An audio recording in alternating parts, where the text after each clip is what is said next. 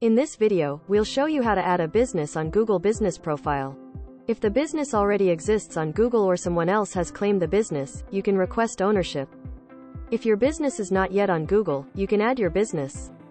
In Google Maps, click Menu and click Add Your Business. Enter the name of your business or chain. You can also click your business name from the list of suggestions that appear as you type. Then click Next. The order of the following steps may vary depending on which type of business you're adding.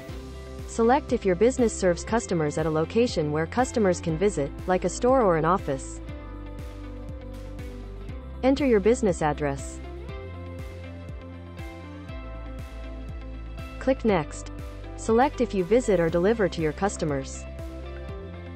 If your business doesn't have a physical location, but works in a service area, you can list the city or town instead. Add the phone number you want to connect to your business. You can add your business website URL. This site will be included in your business profile. Click Next. You're almost done. To be able to fully manage your new business profile you'll need to confirm it's yours.